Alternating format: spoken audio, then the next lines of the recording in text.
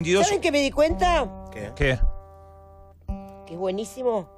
Que vivo acelerada y enojada. ¿Me me estás jodiendo? ¿Posta? Ah, ya lo sabían.